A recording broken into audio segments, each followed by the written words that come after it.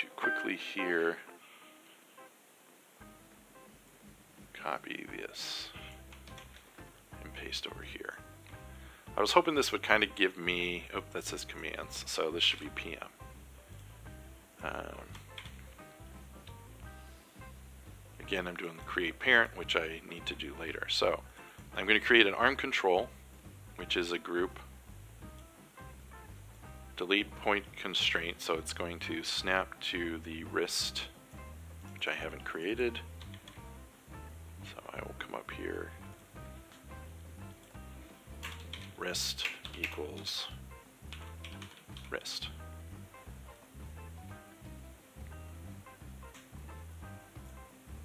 Um, so I still need to do this create parent, so that'll be my next task as soon as I do this. IK, so snap it there, create a point constraint to the IK handle. So the IK handle, so a lot of times people will parent the IK handle under the control. My desire is to have the control curves that the animator selects. I don't want anything parented directly under them. Um, I just like it being clean like that to where the it just is, uh, you know, that hierarchy. Like I could go into that hierarchy in an outliner and quickly and easily select and key everything from there without accidentally removing or doing something with the uh, IK handles or something. So I just want to keep that control structure as clean as possible. I know most animators don't use the outliner and they just select everything visually. Um, I'm just a little different minded at that. And I just really want to keep that clean. If you have a good way of keeping that clean, uh, please let me know in the comments. Um, again, this is for me to learn by my mistakes or why doing it one way. Um, if it's just preference, then it's just preference. But if you find that like everybody prefers it this way. You know, you can do it differently, but generally speaking, this is what everybody's used to, and they're going to want to see it like this. Uh, I need to know those things. And uh, instead of bugging like the one or two people all the time with these questions that I have, here's a chance for one or two other people to answer those questions if those one or two people aren't even ever watching this. Um, so, PM point constraint, orient constraint, but this is going to orientate the control to the uh, rig joint. Right, selected joints, negative one. So negative one is the last joint selected. Replacing rig, format IK. So this is actually going to orient to the IK joint. I thought about orienting it to the rig joint itself, but I kind of wanted to keep that consistent. I don't know if that's right or wrong, if there's a better way to do it. Again, that's my question. Um, and I will get into this at another point. I think what I'm going to do right now, uh, just to test this out, is going to be. Uh,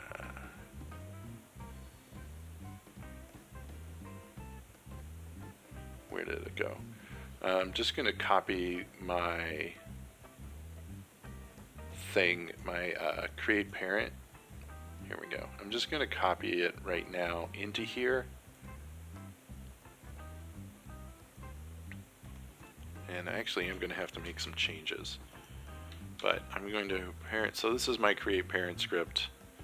I don't know why import Maya commands as commands for this I think if I go to PyMel, some of these commands aren't going to work. So I think I did this at one point. So maybe that's something I can do. But so for this, I'm going to import Maya commands as commands. Uh, so it basically creates a list out of whatever's selected. Uh, oh, type transform. So this actually won't work for joints. Uh, I don't remember. So list the relatives. Uh, oh yeah, if it's equal to joint, do a joint. If it's transform, do a transform. Although I think if I say this, then it's never going to be a joint, so that's weird. Um, and it basically just creates it, snaps it there. So I'm just going to leave this as it is for right now. And let's come up here and see how I messed this up. Alright, got my three joints selected. This script has been saved and I will run it from here. Holy underwear. I did not screw it up. So here's my left arm control. Look at that. Zip zap zooey. So it's pulling the rig with it, which is in turn pulling the bind skeleton with it. Pretty awesome if I wanted to. So left arm FKIK, if I switch this to zero, then, and I have all my control groups here, you can grab my elbow, uh, take this to object, so my elbow bends here, and if I come back to this, I can switch, right? So switches from FK to IK,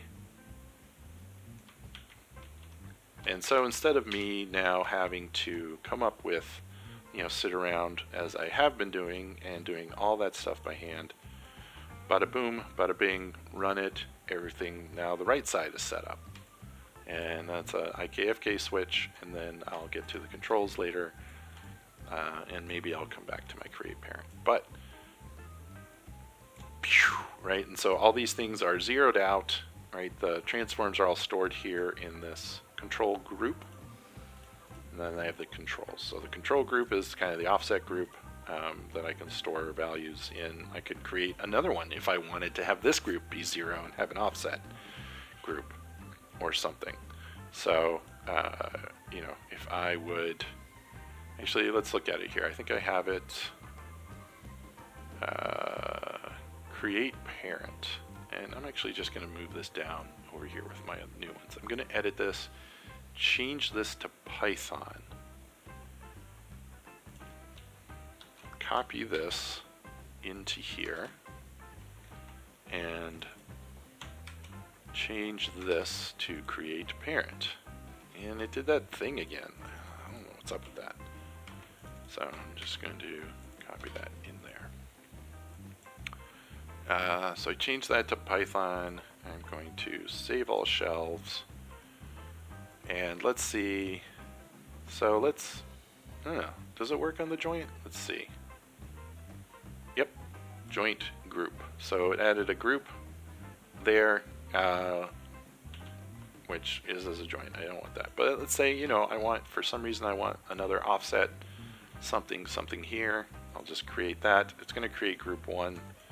So maybe I can do one if group exists, call it offset. I could add that into the thing.